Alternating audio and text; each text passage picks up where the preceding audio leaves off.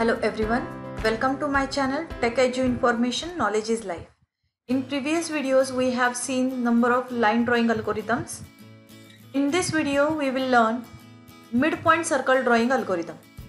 Let us start with our algorithm but if you are new to my channel please do subscribe and hit the bell icon. So before starting our algorithm uh, we need to understand what is circle. Circle is the set of all the points in the plane that are equidistant from a given point. So consider this is the circle and these are the points which are present on perimeter of that circle and which are equidistant from this center and that equidistance is nothing but radius of that circle. Now there are two algorithms for our circle drawing. First one is midpoint circle drawing algorithm and second one is Bresenham circle drawing algorithm. In this we will learn midpoint circle drawing algorithm and in upcoming video we will see Bresenham circle drawing algorithm. So this midpoint circle drawing algorithm is used to calculate the entire perimeter points of a circle in a first octant so that the points of other octant can be taken easily as they are mirror point. This is due to circle property as it is symmetric about its center. This is the center of that circle and uh, in which we have made x and y axis. Now we have drawn our uh, circle. We have divided our circle into 8 parts 1, 2, 3, 4, 5, 6, 7 and 8 one. Each of having angle of 45 degree. Consider we are having one pixel which is allocated, to every octant of that circle and uh, every point is having its positive and negative sign as per the sign of that x and y axis. So as we all are aware with that this part of x coordinate axis is having positive value and opposite to these values is having negative values. And in the same way y axis having this part positive and this part as a negative. So on the basis of this all the perimeter points which are present in these two octants are having both the positive values.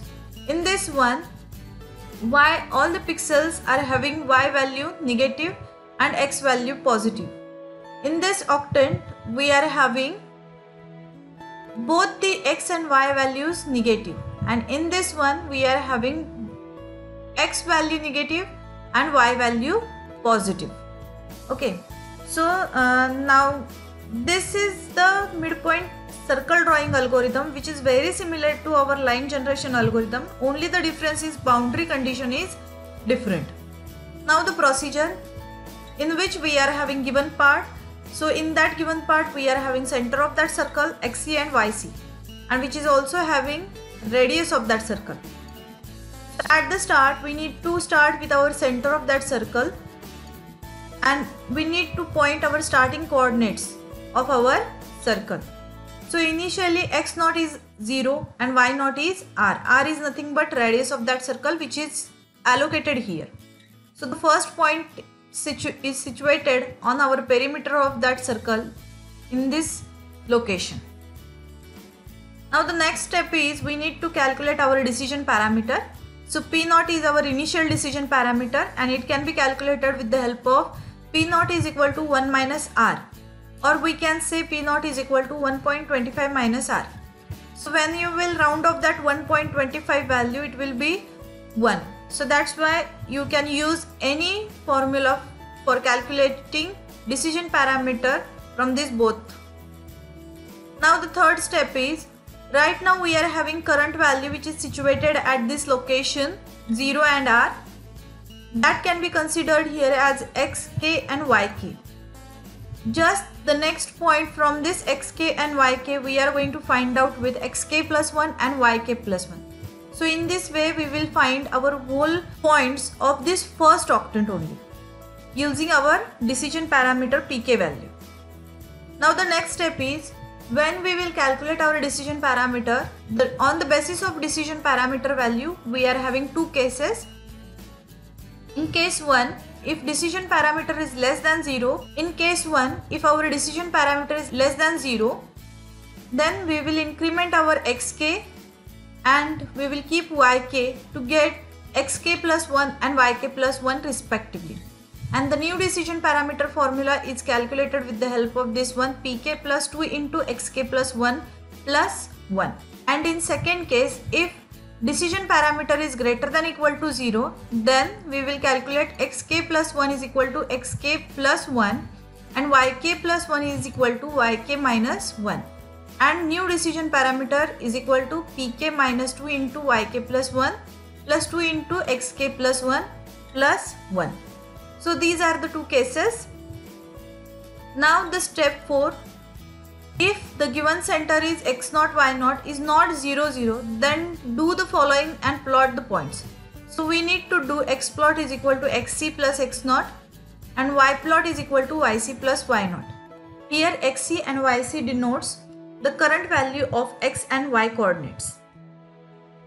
We need to keep repeating step third and fourth until we are having x plot which is greater than equal to y plot. And next step, we need to generate all the points for one octant that is the first one. And to find out the points of other 7 octants, follow the 8 symmetry property of circle that I told you at the start of this video. So what are the advantages of this midpoint circle drawing algorithm? It is a powerful and efficient algorithm. The midpoint circle drawing algorithm is an easy to implement. Is also an algorithm based on a simple circle equation x square plus y square is equal to r square. And this algorithm helps to create curves on raster display. Now let us see what, what are the disadvantages. It is a time consuming algorithm. Sometimes the points of the circle are not accurate. I hope you liked this video and understood the circle drawing algorithm. Thank you.